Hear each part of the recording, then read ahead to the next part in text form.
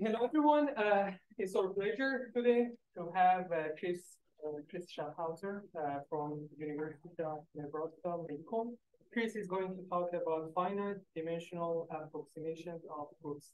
Yes, Chris. Thanks. Sure. Thanks, Ali. And also thanks, Fyodor, for the invitation to speak.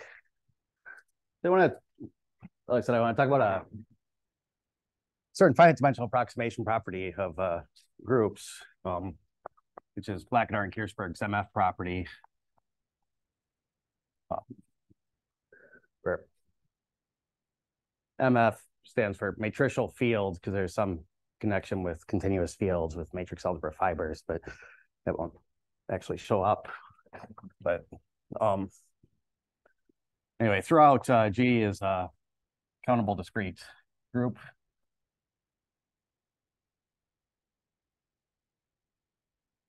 Countability is not actually important for any of the results, but um, it's convenient. Uh, there's general reductions to that case. Discreteness will be fundamental. And I want to consider the reduced group C star algebra. So consider the first left regular representation of G on L2 of itself.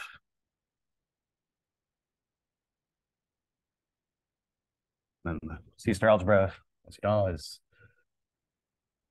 closed linear span.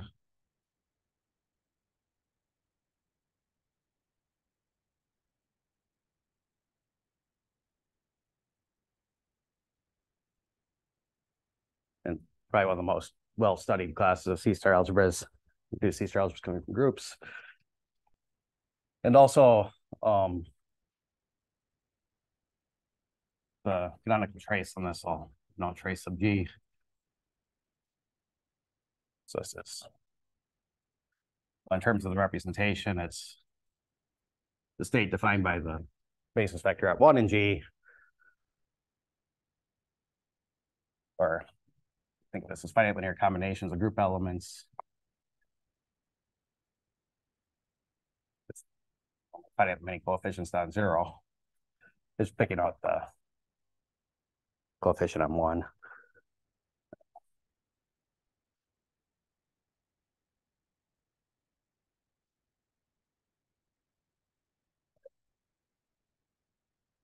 So the approximation property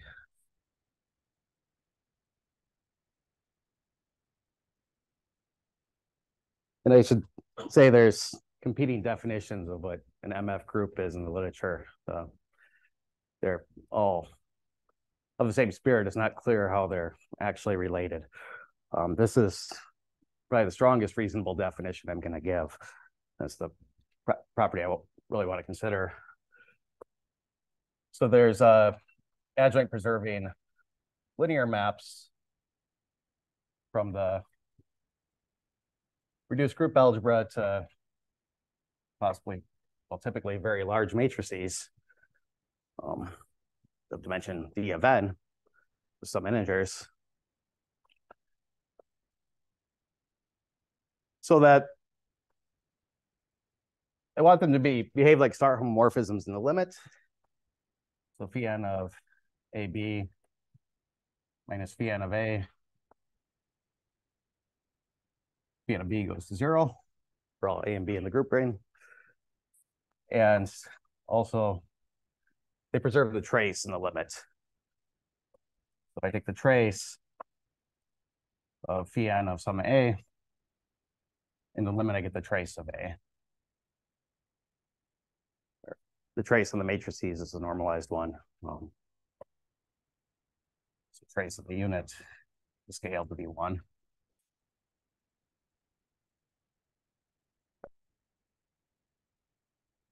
So in limit, you have finite dimensional representations of the group in some sense. If you'd like, you could ask linearity and adjoint preserving held on the nose, but if you like, you could ask those asymptotically as well, and it would be the same condition. Convenient to just take them to be linear to start with. Right.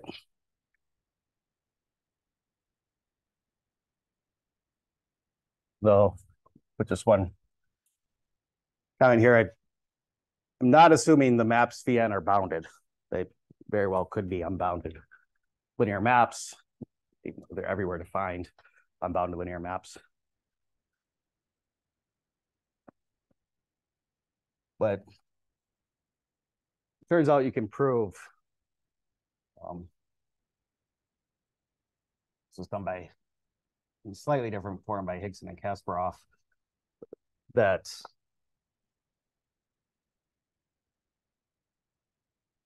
they're asymptotically bounded uh, and asymptotically contractive even.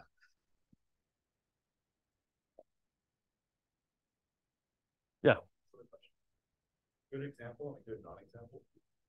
Yeah, I'll get to that. uh, yeah. Yeah. I'll just say quickly where this is coming from is not so mysterious. Um, for any A, you have, well, it's a C star algebra. A star A is smaller than the norm squared. And I can write the order algebraic, purely algebraically as asking there's some B where I add on a B star B. Exactly that. And you apply phi n's, you approximately preserve multiplication, you get phi n of A absolute value squared plus phi n of B absolute value squared is close to norm A squared. And in particular, phi n of A norm squared is only below norm of A squared plus epsilon or something, and it's on the limit, you get the right thing. Um, okay. And, you know, get to the examples just, just one second here. I'll, the other thing I want to point out, it's, yeah, if you don't, you know, typically when you build representations of C-star algebras, you can't prove that, you know, you have star homomorphisms are automatically contractive, but in practice, the morphism you're building is usually densely defined, you have to extend it. So you have to prove continuity anyway. If you have a, if you, if these PNs are say only defined on the algebraic span of the group, so it's the complex group ring. And you assume one, two, and also this asymptotic boundedness condition, they do extend by continuity. These PNs do extend by continuity in some sense to give representations of the completion. Um.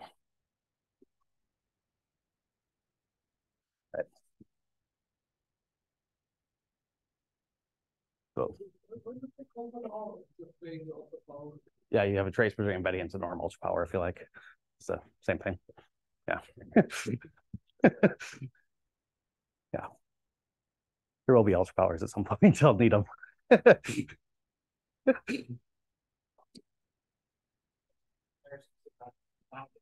Yeah, so you do need to prove that before you can put in an ultra power.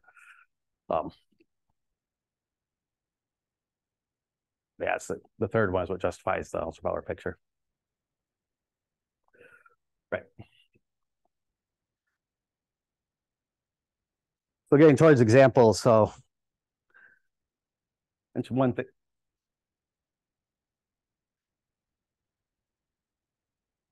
Any MF group is uh maybe the more slightly more familiar property is is a hyperlinear group. Uh, let's just say G the unitary group of R omega, um, where the group von Neumann algebra satisfies Connes' embedding problem. Uh,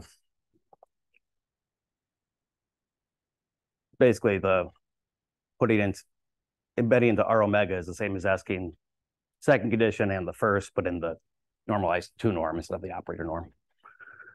I took a two there. This would become hyperlinear. And but I'd also have to explicitly ask for a third condition. You couldn't prove it. You couldn't prove the boundedness anymore if you were only doing this in two norm. But yeah, the hyperlinear is formally a weaker condition. Um, but the very famous open problem are all groups hyperlinear. Um, I think the general consensus is it should be null, but no one knows where to find this group or what the obstruction is. Um,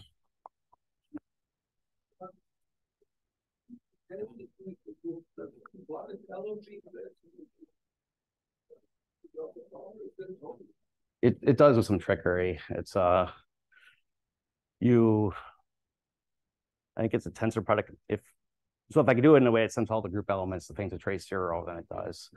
And you can start tacking on infinite tensor powers and drive the trace down to zero. Um, it's important to R, R omega there. If you try to do it with MF, that actually doesn't work. Um, but Is, it- is this property related to, uh, um, soficity? It's not clear. Um, I mean, I don't, neither implication is known. It's definitely in the same spirit as soficity, but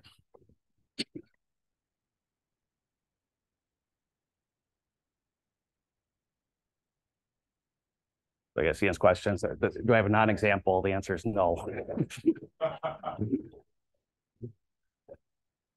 Um, if you change the problem in not a group algebra, but just a C star algebra of the faithful trace, can you do the same thing? The answer is no, but the only counterexample we know are the counterexamples to the Connes embedding problem. So there's if you ask us for property of a C star algebra in a trace, if it's if that's MF, then the von Neumann trace of von Neumann algebra generates embeds into R omega. Um, Okay. But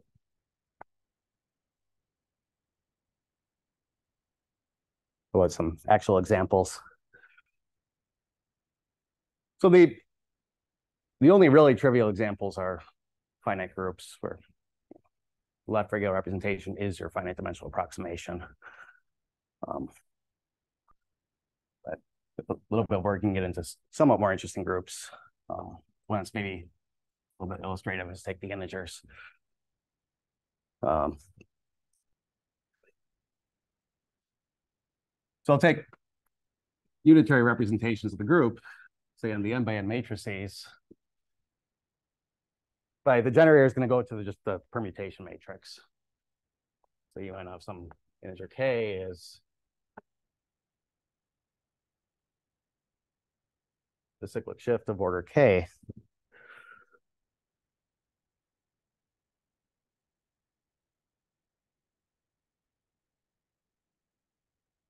you can extend these, those are actually group homomorphisms.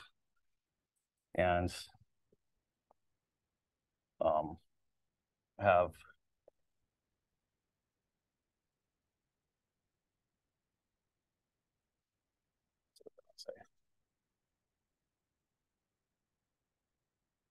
If I take the trace of un of k, it's zero for all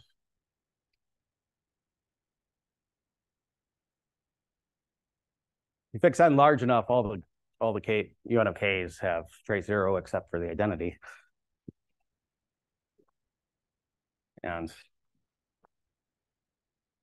UNs extend linearly to the group ring.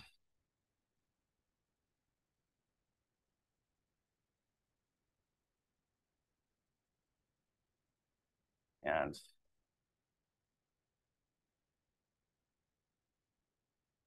the first condition holds because I mean the PNs are actually group homomorphic are actually star homomorphisms.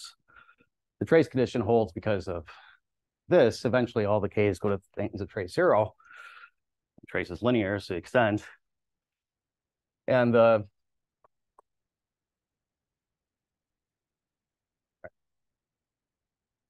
to get the first two conditions. And because I'm not actually on defined on the whole group algebra at this point, I'm defined on a dense subalgebra to extend to C star of Z. I need the a boundedness condition too.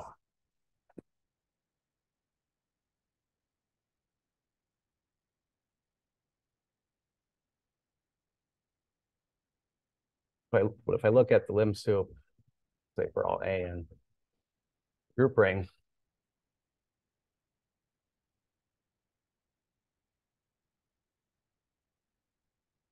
if I apply phi n of A and take the norm, I get some norm on the, that is a, a norm on the group ring, C star norm, in fact.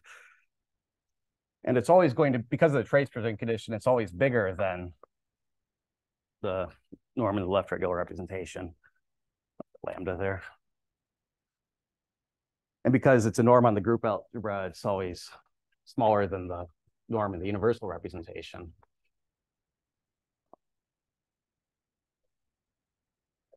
Then on the integers, there's, you know, the full and reduced group algebras agree.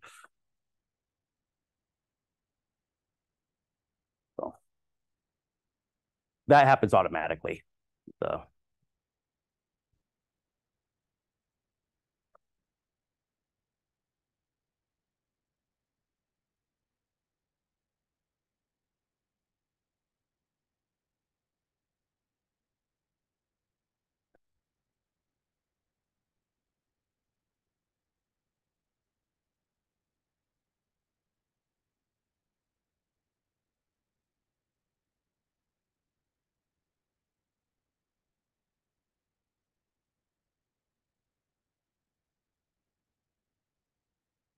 Whereas you can just stare at the proof. It's not hard to push this a little bit farther. You really need, I mean, that came from amenability. The first one came from having sufficiently many finite dimensional representations to get the trace condition. So ask say that Z is residually finite and amenable then G is MF.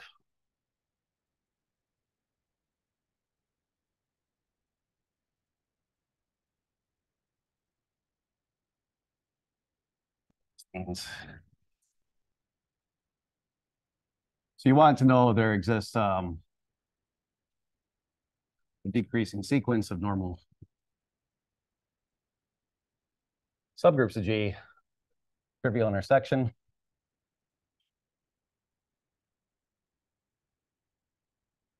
Each.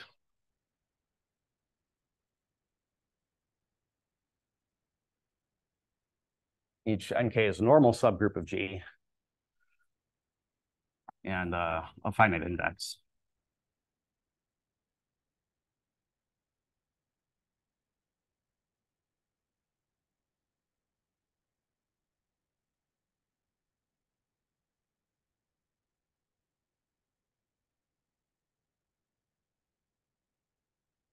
So the where the unitary representation is going to come from, I'm going to take G, map it to the map it onto the quotient by say the kth group out kth normal subgroup, and then take the left regular representation at lambda k of that.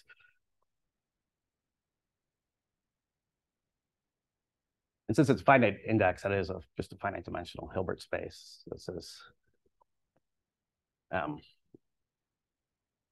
MD for some D, or I guess D is the index. Um, that composition is my, I guess I switched from N's to K's for some reason. Is these UKs. It's, it will satisfy the so they're all homomorphisms. So first condition is true without the epsilons. If given any, any group element that's not the identity, then it'll be you know non-zero and some large enough quotient. And then have trace zero in the left regular representation. So all the non-trivial group elements eventually are mapped to things at trace zero. This is what's going to force the second condition. And then the bound is this you need to extend to the completion of the group ring comes from amenability, which I assumed.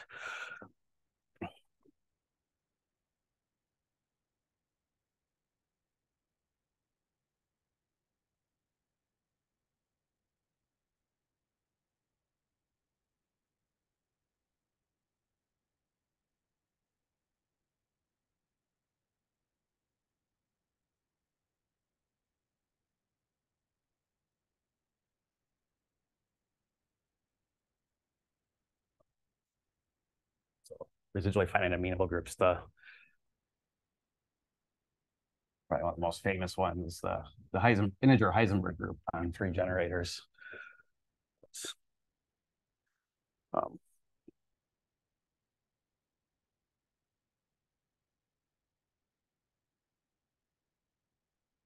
it's amenable because it let's see, I think it's that's a normal subgroup and the quotient is Z.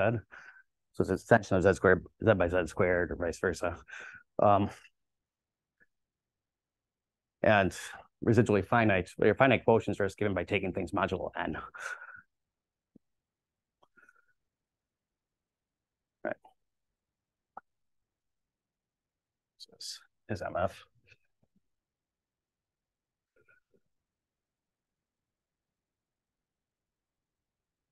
Um, more generally, if you have a subgroup of upper triangular matrices over some with ones on the diagonal in some or over some commutative ring. It's also MF. Um, it's a very classical theorem of Mal'cev, combinatorial group theory, that if if you have a finitely generated subgroup of GLNK, upper triangular or not, it's residually finite.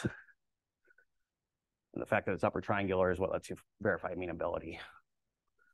So I guess you finitely generated G of this form or MF, but then you can extend from there. Um,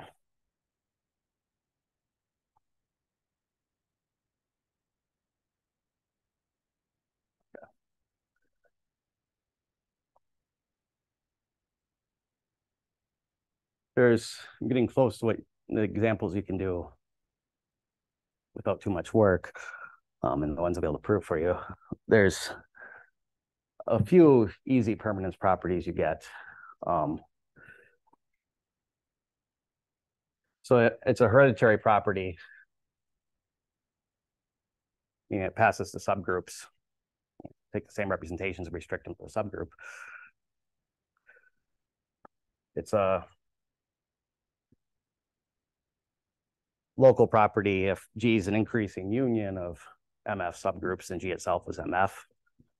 Um, that's standard. You rate it in terms of finite sets and epsilons, and your finite set, finite set of things in the group ring lived in some matrix, lived in some finitely generated subgroup of G. If that was MF, then you're done. Um, and it's a virtual property. Uh, if you have a finite, if you have a, if G contains a subgroup, MF subgroup, a finite index, and G was MF. It is if, well, generally, if you have a unitary representation of some subgroup of G, you get an induced representation of the big group. If it was a subgroup of finite index, the induced represent, if the finite dimensional representation of a subgroup of finite index, the induced representation will still be finite dimensional. And if you're careful, you can get kind of induced approximate representations of the subgroup as well. And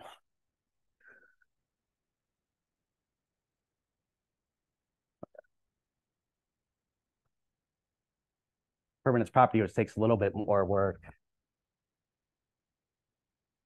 If G and H are MF, and one of them is exact, which well, covers all the groups I know how to write down anyway.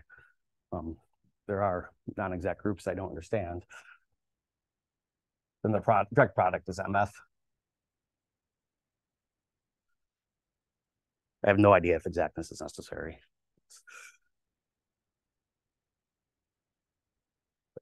Basically, you want to take tensor products of the finite dimensional representations, and you need exactness to make the norms work out correctly at some point in the proof.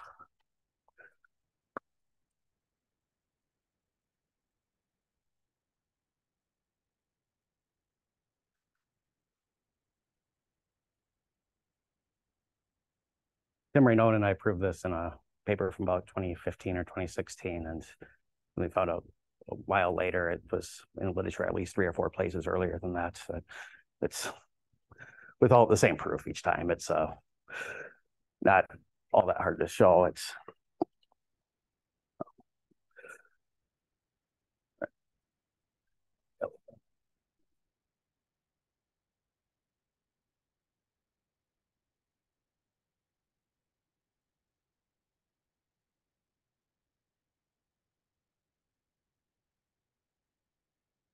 Okay.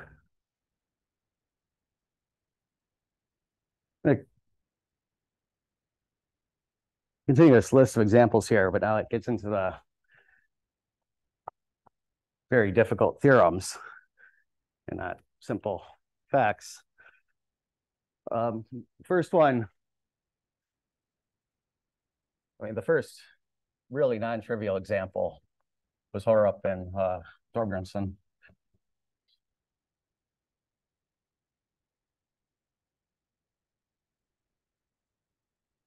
Um, free groups.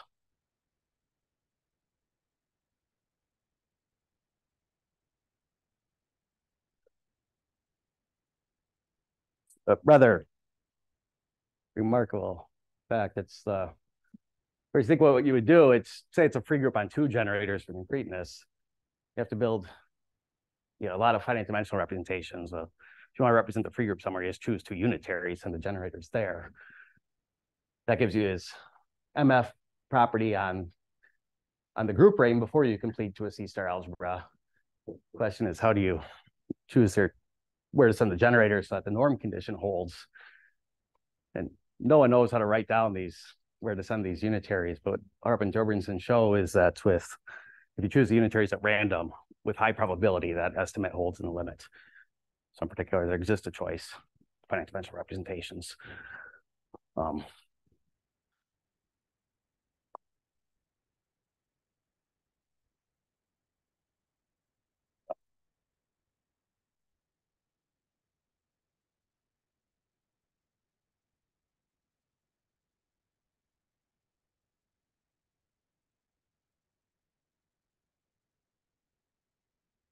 other huge results, amenable groups fall in this class. Um, I mean, this is sort of different. The third one is comes for free, the same way it did for the integers. It's the this is going to be some norm on the group algebra. It has to be the reduced norm because it's between the reduced and max. Uh, the really hard part is just getting finite, approximate finite dimensional representations of the group to start with. Um, Uh, that's actually the whole problem, essentially. And should at least mention you also need the Higson-Kasparov solution to the Baum-Connes conjecture for amenable groups to run this. The quasi-diagonality theorem has a UCT assumption that's coming from Baum-Connes machinery in the case of group algebras.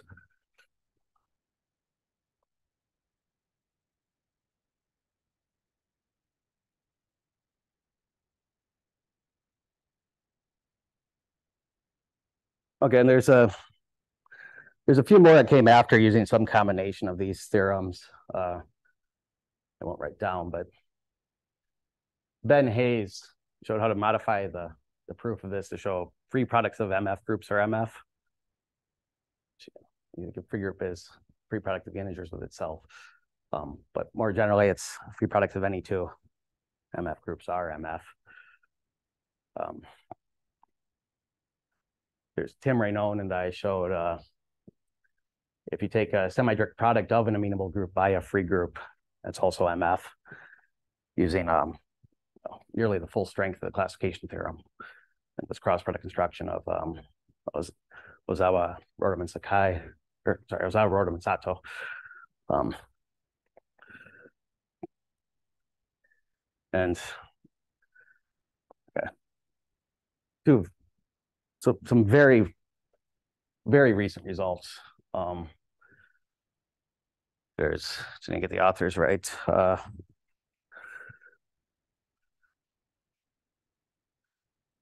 there's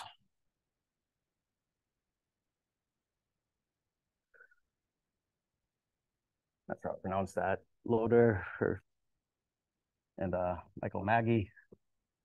It's on arXiv in 22. Um, prove this property for what are called limit groups, which is a certain amount of free, some kind of freeness condition. Um, and a more familiar class for all any closed um, two manifold. The fundamental, so surface groups are MF.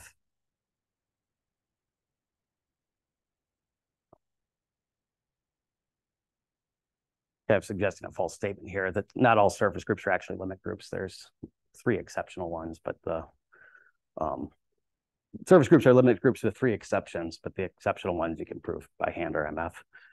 Um, and two of the exceptions are Z mod two and Z cross Z mod two. And the third one is an index two subgroup. The third one, I think, is if you take um three copies of uh RP2, it's it's not actually a limit group because there's still CMOD 2 torsion in it. But there's a you know, it's has an index two cover by you know a torus or something, or by probably a two-hole torus.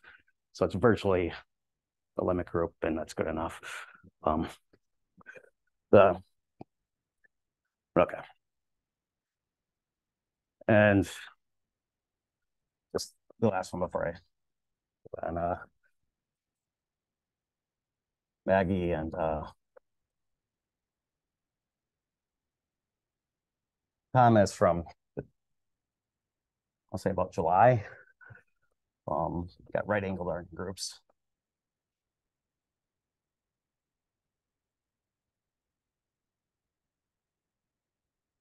That's if you take a finite graph, take one generator for each vertex, and add the relations that two generators commute when the vertices are adjacent. Um, this, these right angled Artin groups. So if it's a complete graph, you're back to you know the free abelian group. If it's a empty graph, you have so no edges, it's a free group. So somehow interpolating between free abelian groups and free groups.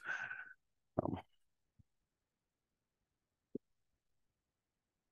okay.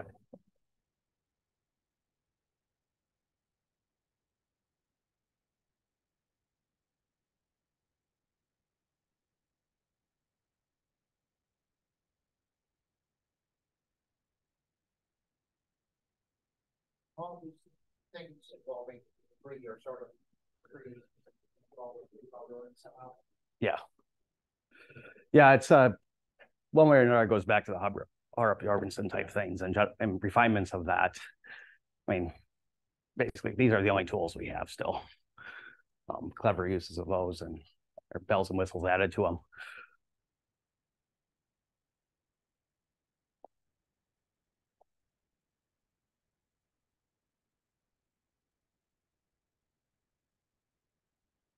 So roughly what the limit groups are, so this is slightly imprecise, but you take the collection of all finitely generated groups with with a choice with the distinguished choice of generating sets. You can put uh, compact Hausdorff topology on that um, space. And the limit groups are the limit points of the free groups inside that space. Um, so in some very weak sense, they're limits of free groups.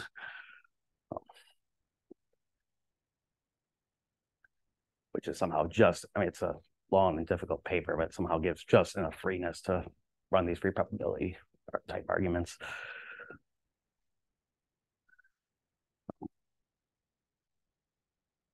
Okay, we're my reason I got interested in this more recently was a conjecture that Ben Hayes made at a, a problem session in um BAMP. Actually, this would have been the logic and operator algebra BAMP one meeting. Yeah, that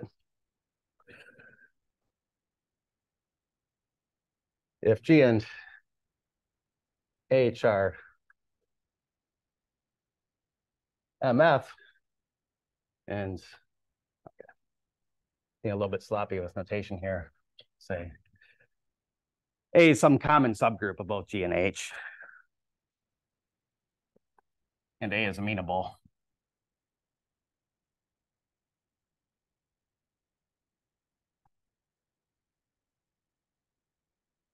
So the uh, the amalgamated product is MF.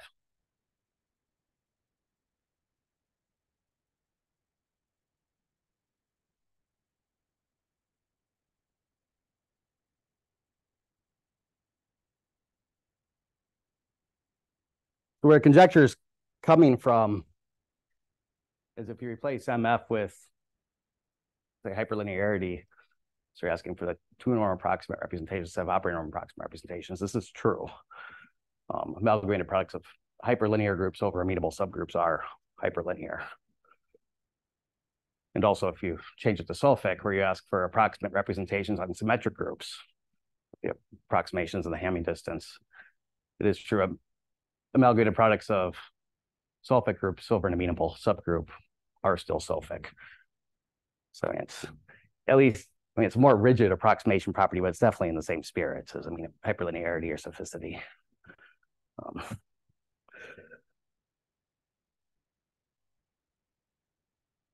Okay, I don't quite understand the A being assumption A is amenable. I mean, uh, how, how non-trivial do they have to be? Just not, uh, just more than one element. If it's one element, it's, uh, it is true. Oh, I- any, Any amenable, sorry, A is a group here, but yeah, true, so, yeah, It's one of the elements, and it's just the free products, right? yes. So, and that was the different previous. Yeah, I think I didn't write that down, but Yeah, yeah, free products that, uh, yeah, I mentioned it just out loud, but it is, as a result of Ben, that it's true. On the board? No, He said that. I said it out loud, but yeah, here it is now. It's, it's true when A's the trivial group, so free products of MF groups will be MF. I don't know for sure, but I, it's possible if A is finite, you might be able to just do this by hand. Um, I haven't. I can't, I probably tried it at some point, I can't remember. Um. The. But.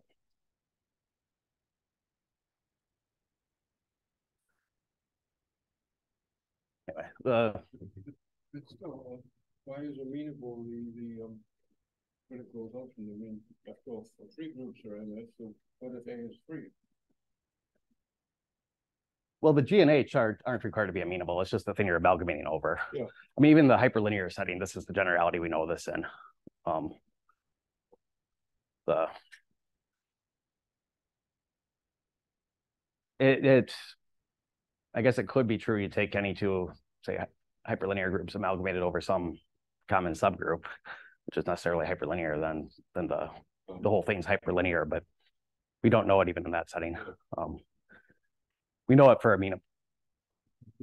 In the hyperlinear setting, we know it for amenable amalgams.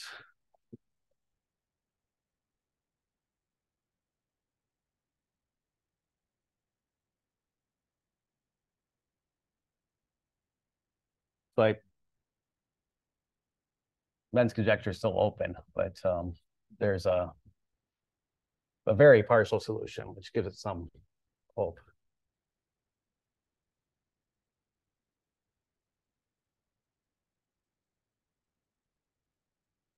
This is on the archive um from a few months ago. Uh. If I strengthen it to not just ask for two MF groups, but ask for two amenable groups.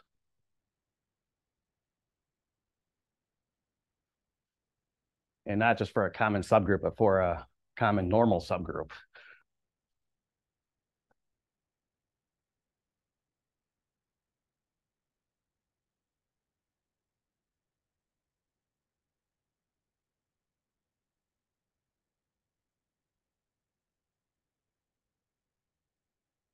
Then that's true. I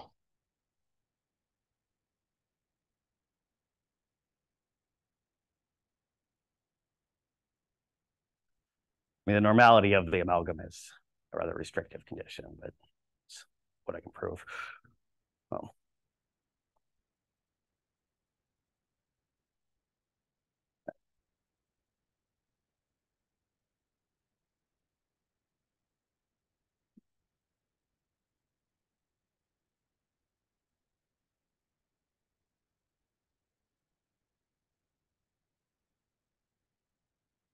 in the, you know, the last ten minutes or so I have left, I'll try to give some flavor of where this is coming from. There's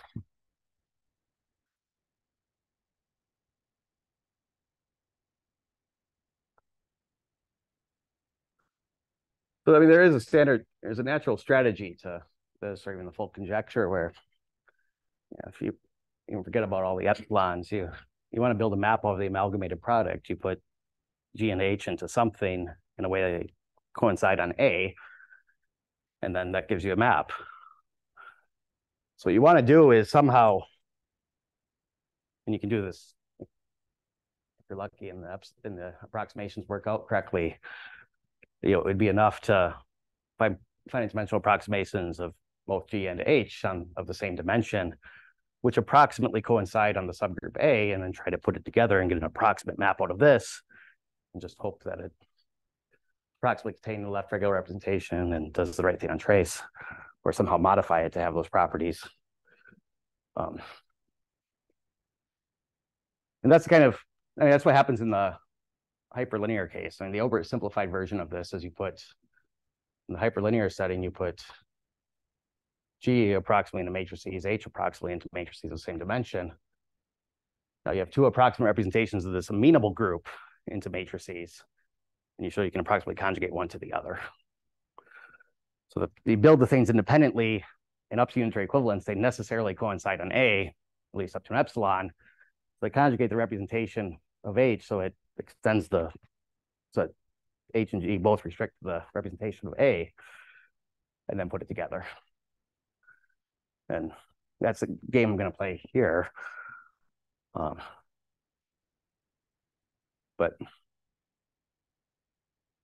you know, we have even if you take groups where we have a very good understanding of what their finite dimensional representations look like, their the approximate finite dimensional representations can be very complicated. Like if you take G to be, you know, Z squared, you know exactly what its representation theory is. Approximate representations of Z squared are pairs of almost commuting unitaries, which is already very complicated for one of the simplest groups you can write down. So yeah, understanding what the approximate representations look like to even have a chance of mimicking running that strategy is going to take take something. Um, and so start um actually before I say a theorem, need some notation. So I'm not going to look at representations as uh, finite dimensional approximate representations, but something very close. I'm going to replace the matrices with UHF algebra.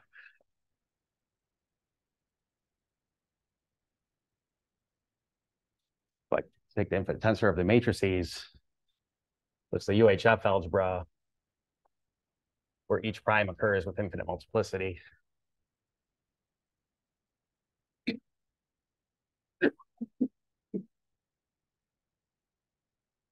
And it has a trace coming from the trace, the matrices.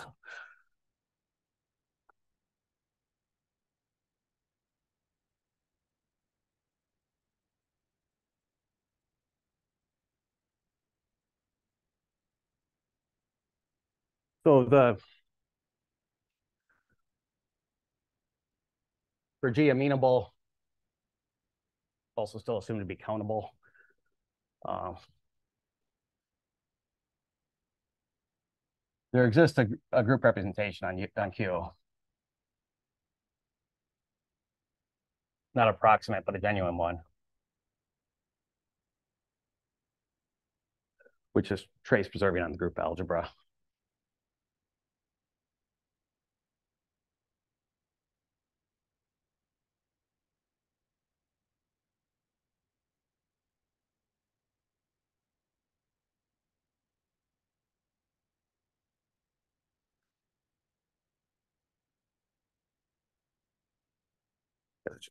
Mentioned this also depends on a large collection of results from the Baum-Connes literature that um, there's, you know, my theorem is really if you have a nuclear C-star algebra with a faithful trace and the UCT holds, then you get an embedding into any NEAF algebra where the K0 groups make sense. Um, so the UCT is again coming from the Higson-Kasparov solution, the Baum-Connes conjecture for amenable groups. And then a theorem of Lück that when the Baum-Connes conjecture holds, computes the range of the, gives upper bound at least on the range of the trace on K0 of the group algebra. It turns out if you have a group satisfying the Baum-Connes conjecture, all the projections in the group algebra are of rational trace. Um, Just so you at least get a K zero mapping from the group algebra to the rationals and then the machinery I built is enough to lift that, implement that by a star homomorphism. And you get a little bit more and it was unique up to approximate unitary equivalence. So if you give me another V, there's a sequence of unitaries that pointwise in the limit conjugate the U's close to the V's.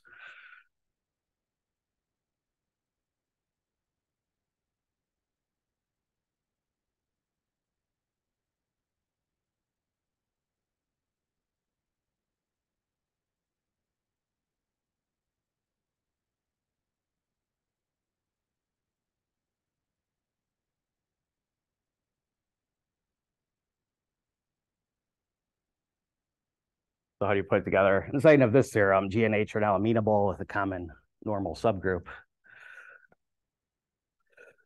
Choose. Let's say UG. You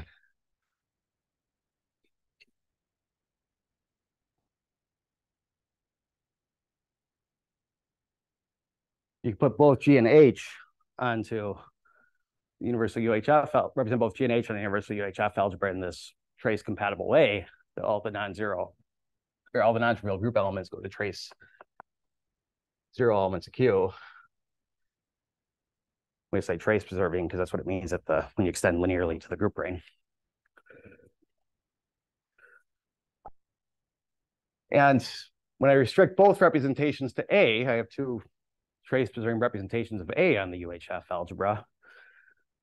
So they're approximately mutually equivalent. Um, so we're equivalent here is a W and say the norm ultra power of Q with U is the unitary conjugate of um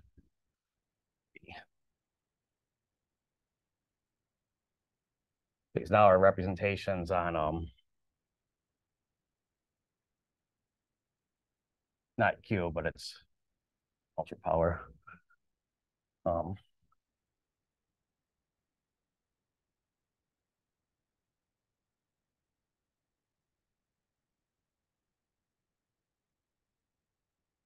H.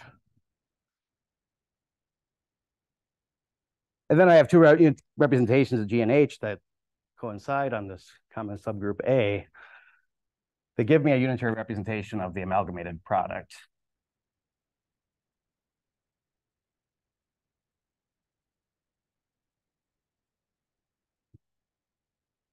Okay. So if you start on why do you at least have finite dimensional approximate representations from this amalgamated product to matrices?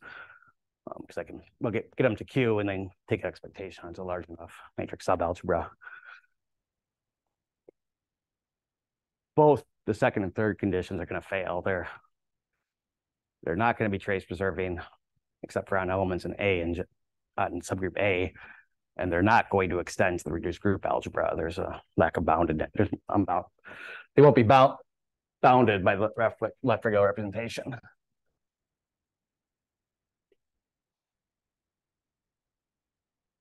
But what you can do, I have a unitary representation of this group on some C star algebra. It does extend to the full group C star algebra.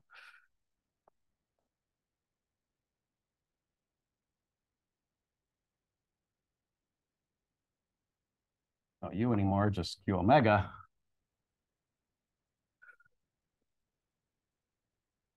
And to correct for the extra information, I can, um, I'm going to tensor on um, the reduced C star algebra of the quotient.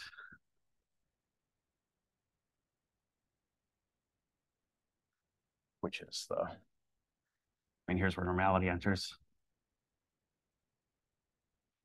You know, maybe able to quotient by A. And what you, okay, so it's the obvious thing. You send a group element to wherever you sent that group element tensored, um, let's say Q is the quotient from by A. Maybe lambda sub QA.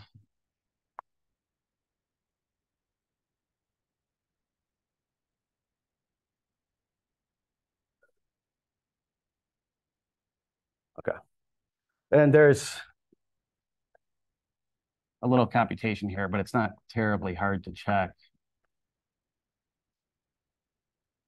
Once you tensor on that copy of the group, reduced group algebra of the quotient, it does actually factor through the reduced group algebra. Um, and is trace preserving.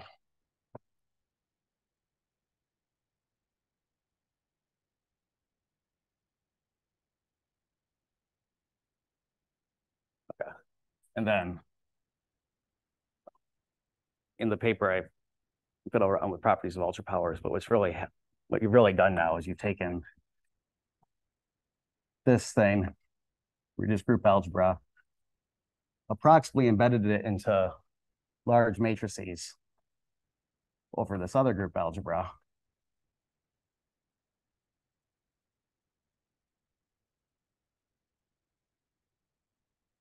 This G and H are amenable, so the quotients are amenable.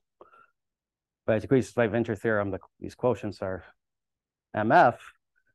And by Hayes' extension of the Haagerup-Thorbjørnsen theorem, the free product is MF. So that thing is an MF group. Um, somewhere in here in the details, you actually use a result of Dykema Shlyakhtenko as well, that free products of exact groups are exact. Um, but no, in the end, it works. And you take um, the representation, approximate representations of that of this MF group, take matrix amplifications of them, and you'll get in the composition, if you choose your quantifiers carefully, they'll you have finite matrices of this MF approximations of this thing by just composing the two approximate representations. Um, so you end up with the group as MF, but yeah, I should stop there. Thank you.